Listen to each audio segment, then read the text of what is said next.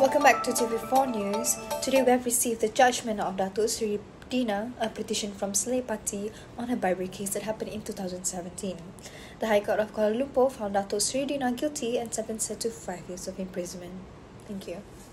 Hey, isn't that the famous politician? Is she going to share the same cell as us? I thought she's going to receive a different treatment than us. I can't believe she will share the same cell as us. I don't think I need to introduce myself to you guys, right? You guys know me well, right? I'm all over the TV and all over the nation. Yeah, we all know you already. By the way, are you not going to run for the upcoming election? Is she applicable for that though? She's in prison now. How can she run for the election? Hey, do not look down on me, okay? I have eight lawyers that I can defend for myself, and I'm going to make sure that I can run for the election. And do not forget to vote for me, okay? Oh, I didn't know that I can vote. I thought that my el- eligibility to vote had lost ever since I have become a prisoner. I want to run for the upcoming election that will be around this November. Please make sure that I can get myself in for the election. Back with me on TV4 News. Our election is just around the corner and the candidates has been announced.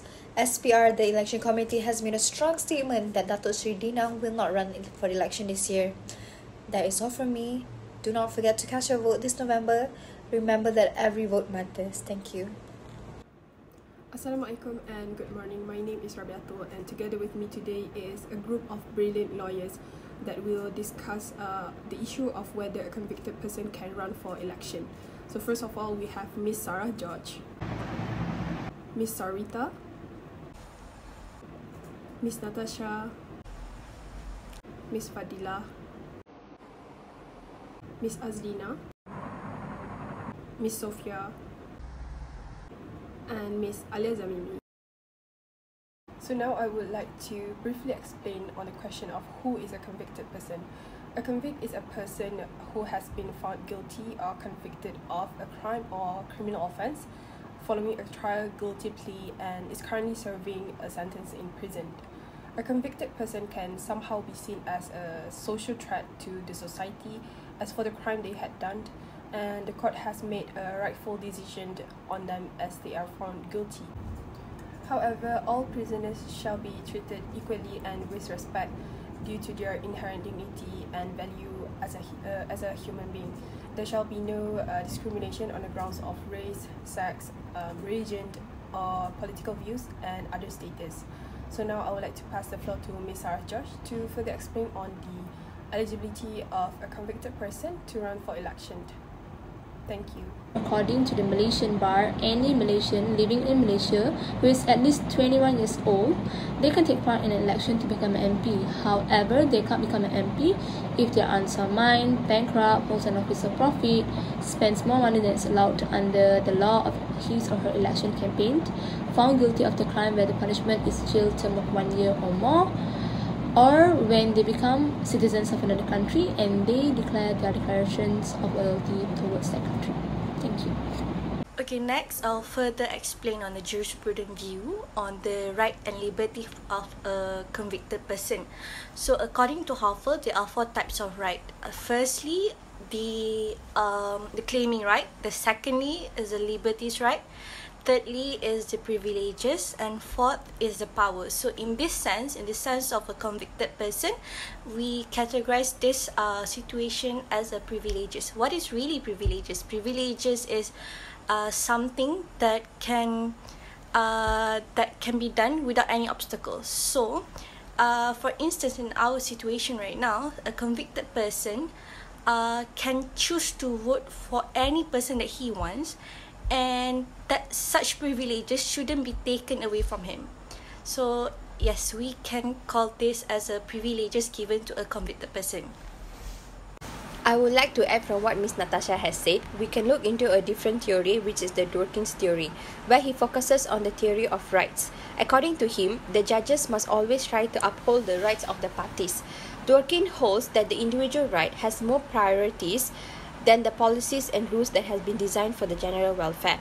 Dworkin also traces the most basic right, which is the right for equal treatment. He focuses on every human shall not be subjected to torture, cruel, inhuman, or degrading treatment. The right to equal treatment means the right to receive the same services as everyone. So from this, we also can look into where uh, we also can connect that convicted person has to get his rights and to be treated as the equal person. A person will not be eligible to serve as a member of either House of Malaysian Parliament under Article 48, Clause 1, Paragraph E of the Federal Constitution if a court finds him 2,000 ringgit or more if he is found guilty of a crime.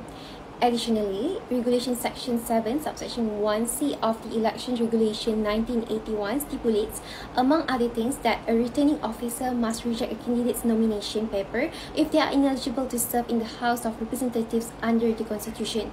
Therefore, a person is disqualified from holding the office of Member of Parliament as well as from running in a parliamentary or state election or by any election under Article 48, Clause 1, Paragraph E of the Constitution and Rule Section 7, Subsection 1C of the Elections Regulations 1981. According to Article 48.1e of Federal Constitution, a person who is convicted is disqualified for being a member of House Parliament However, in special or rare cases, a convicted person can run for election if he or she gets the royal pardon. Well, this is according to Article 42 of the Federal Constitution, which stated that the, the Yang di-Pertuan Agong has power to grant pardons, reprieve and respite in respect of all offences which have been tried by court martial and all offences committed in the Federal Territories of Kuala Lumpur and Labuan. For instance, in 2018, Datuk Sri Anwar Ibrahim, who was convicted for imprisonment got the full royal pardon from Yang di-Pertuan Agong and he ran for election. Well, based on this case, it is possible for a person who wants convicted with imprisonment to run for election if they receive the full royal pardon. To answer in regard to the question that was asked by Yosamek on whether prisoners can vote during election, we must first take a look at the judgment made by the High Court in a test case. In this case, the High Court ruled that prisoners can vote during election if he has registered as voter before his conviction. But the Election Commission has no power to bring him to the polling station in order for him to cast his vote. It was held that the prisoners had to apply to Prisons Department Director General in order to make time for him to vote. Therefore, sir, if you wish to vote during this upcoming election, you must first make sure that you have registered as voters before your conviction and if you do, you had to apply for the arrangement for the time for you to vote. I hope that is clear enough for you. Thank you. The right to vote is set out in the Universal Declaration of Human Rights, UDHR, which provides under Article 21 that everyone has the right to take part in the government of his country directly or through freely chosen representative. UDHR has a binding status since it is a customary international law. However, countries have taken different approaches on voting rights for prisoners since there is no specific provision on it.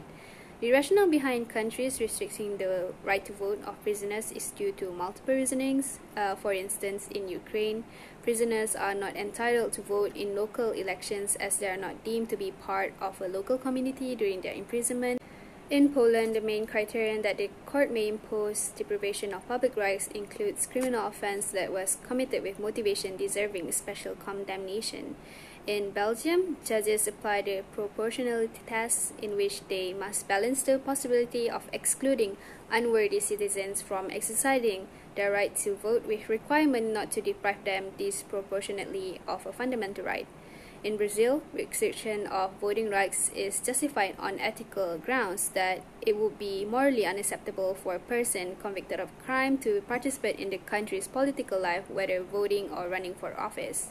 All in all, prisoners of most countries will be disenfranchised while they are serving prison sentences, as it is deemed to be morally inappropriate to do so.